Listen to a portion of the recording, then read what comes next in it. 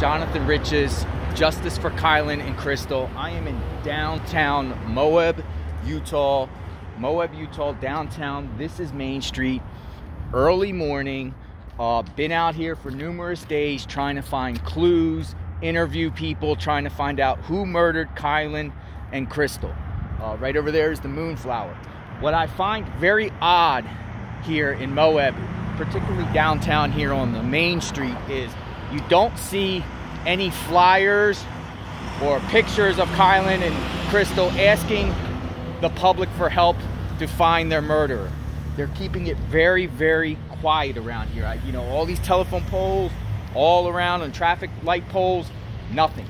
Nothing. Street light poles, nothing. Nobody, no businesses have anything. Uh, posters of them because uh, of them you know, uh, asking the public's help and assistance to find out who was responsible for their murders and help bring them to justice. You find none. Very quiet, very quiet around here, and I find that odd.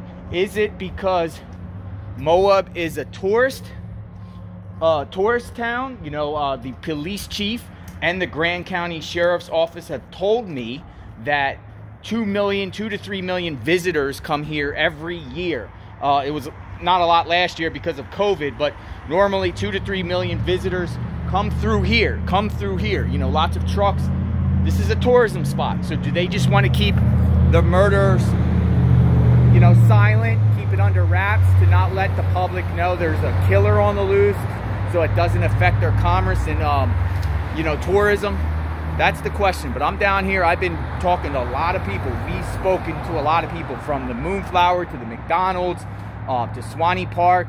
We talked to a lot of people, so we got a lot of insight our own selves and doing our own investigations. Hopefully, we can uh, narrow down the uh, killer. We have lots of suspects, but I'm out here. My team is out here, um, just scanning the area. So we're gonna help uh, bring the people responsible for killing Kylen and Crystal to justice.